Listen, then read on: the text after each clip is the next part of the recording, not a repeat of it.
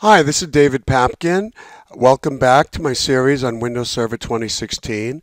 In this video, I'll be implementing Network Controller. Now, Network Controller you can use to manage your network devices. It works well if you're using System Center, SCVMM, and SCOM, but you can also use it just with pure Hyper-V.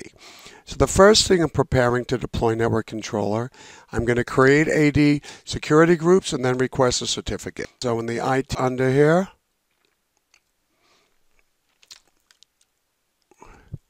Fantastic.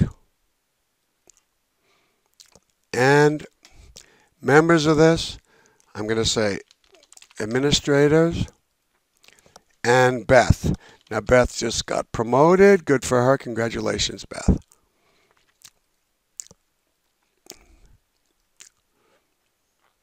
Next thing I'm going to do is create another group.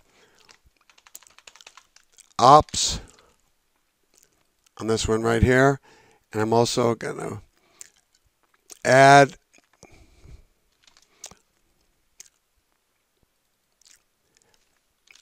and Beth. Great.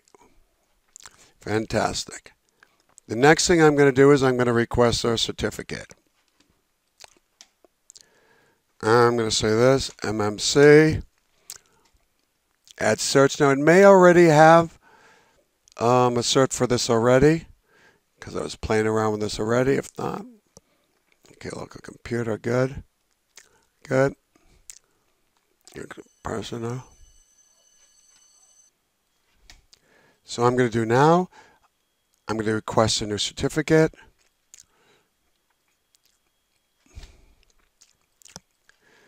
I'm going to request a computer certificate, enroll it, good, fantastic. I'm going to add the network controller role. Server manager. Add the role. Now the network controller role, it, it, says it doesn't need a reboot. But my instructions are that I should reboot after I install it. Ah, well, it says that it's already installed on here. Okay, next. Good.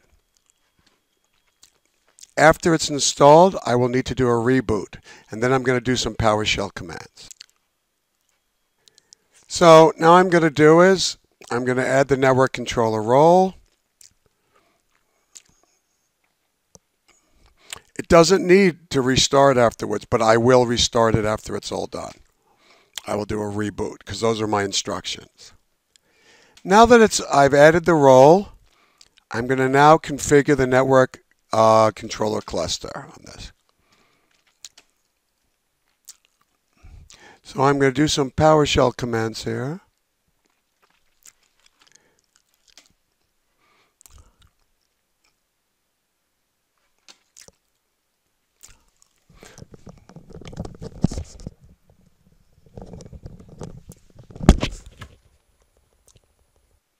So as you can see, I've run this command here.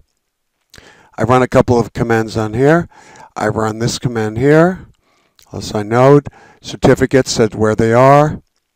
And then I'm going to install the network controller here. And this one will take time, as I mentioned previously. So now I'm going to do is I'm going to install this um, network control cluster first. And then after I control the cluster, then I'll install nodes onto it. Now this will take some time. So the install network cluster role was installed, and now I'm going to do is install, uh, add a node to that. So now I'm going to do is install a node.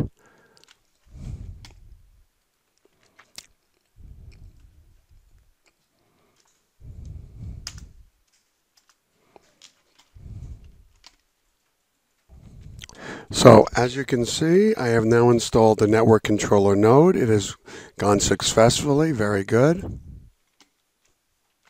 So I've configured the cluster, I've configured the controller application by adding a node to it, and the next thing I'm going to do finally is validate the deployment.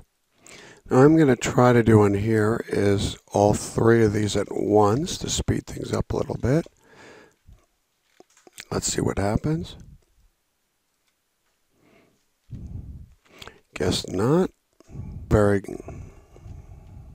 So now that it is, I've added the node successfully, I'm going to now try to add some credentials in here. I'm going to just try to do this at one time. Let's just see if it works. Okay. And now I'm going to try to get this one here. Hopefully this.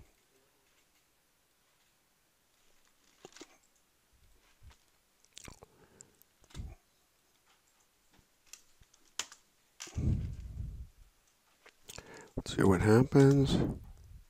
Good, fantastic on this, great. And now I'm going to do finally is get the credential on this.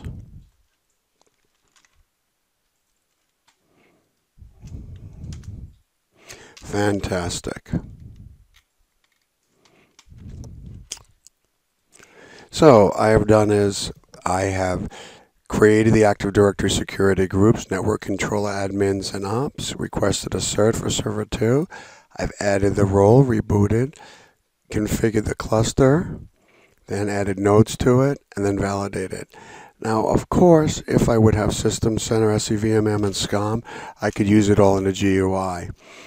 Well, this is David Papkin with um, TSI Consulting Services, Windows Server 2016 Implementing Network Controller.